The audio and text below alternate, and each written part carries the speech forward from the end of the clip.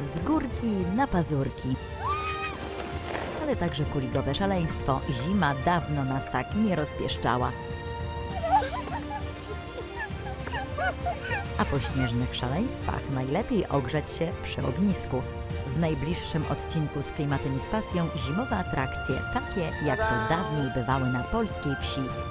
Z klimatem i z pasją. Niedziela Polsat News 16.30.